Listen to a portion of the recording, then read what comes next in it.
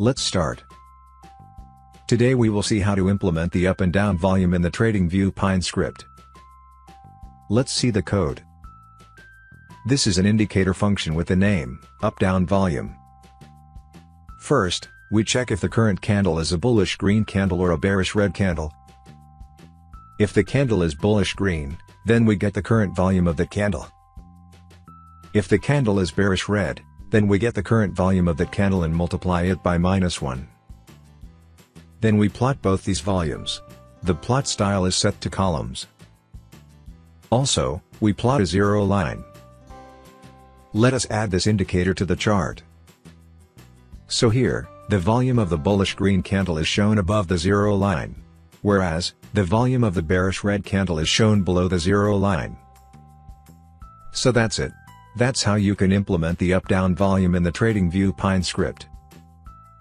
Thank you.